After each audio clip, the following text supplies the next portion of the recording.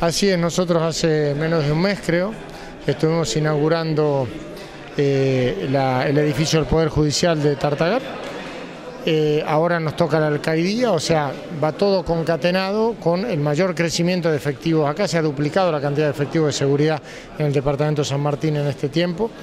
Eh, hemos construido una importante cantidad de dependencias policiales y con la construcción de esta alcaldía lo que resolvemos son, primero, darle condiciones de mínimo respeto de derechos humanos a aquellos que este, tienen que estar alojados por una situación este, eh, personal aquí en, la alcaldía, que no están más en comisarías y segundo, este, damos la posibilidad de tener más personas alojadas. Para que el ciudadano entienda quiénes son los que se van a alojar acá. Son aquellas personas que hoy por una falta de, por falta de infraestructura estaban en comisarías, en lo que sea, la que hay en lugar que todas las personas que están privadas de la libertad en el marco de su proceso estén detenidos aquí. ¿no? Una eh, inversión importante en cuanto a materia de seguridad, ustedes destacaban la cantidad de efectivos, de móviles.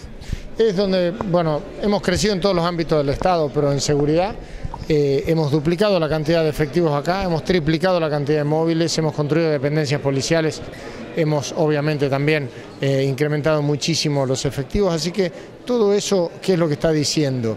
que tenemos al lado del aprovechamiento del avance tecnológico con los centros de coordinación operativa, con las cámaras de seguridad y demás, advertimos que tenemos hoy un, sistema judicial, un sistema de fuerzas de seguridad este, y también penitenciario que puede soportar una mejora en la calidad de lo que es la administración de justicia, que los procesos pueden ser más lentos, que menos lentos y pueden ser más rápidos, que se pueda llegar en tiempo y forma con la justicia.